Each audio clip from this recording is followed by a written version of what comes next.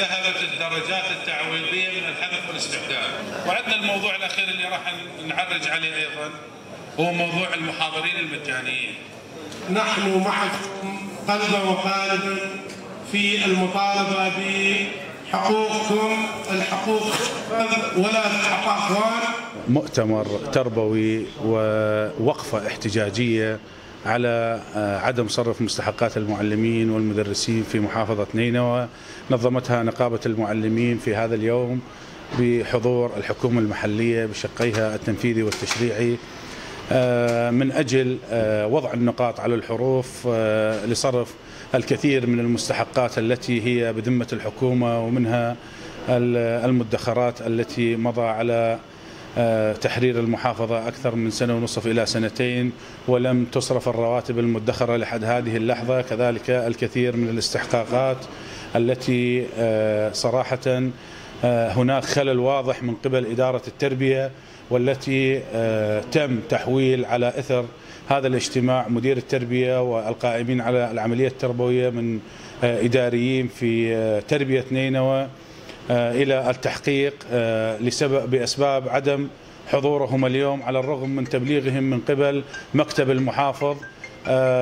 صراحة التهرب من الحقائق التي هي موجودة على الواقع التربوي في نينوى هي مسألة مؤلمة وكذلك يجب أن نقف عند هذا الموضوع. يجب على تربية نينوى إيضاح موقفها من استحقاقات المعلمين.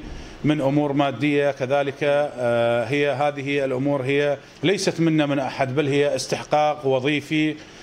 ناقشنا في هذا المؤتمر الكثير من الأمور والمتعلقات التي هي من صميم عملنا. كان يجب على التربية إيضاح الأمور أمام الجميع ان هناك كان هناك تقصير.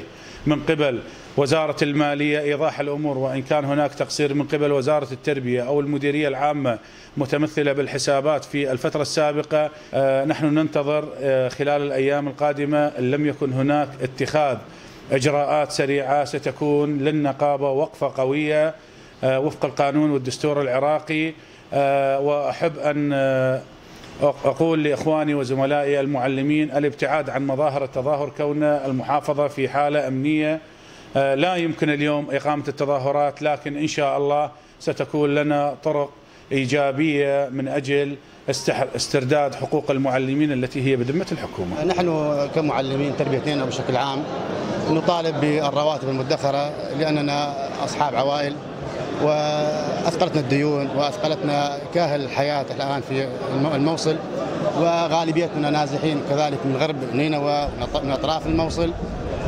هذه مشكلة عويصة لم تحل لحد الآن من قبل. حسابات نينوى أو من قبل وزارة المالية. إحنا كمعلمين قضاء سنجار نطالب بنقلنا أو بالجانب الأيمن أو إبقائنا في الجانب الأيسر. وين يريدون ينقلوكم التابعين؟ والله حاليا يريدون ينقلوننا خارج خارج المحافظة.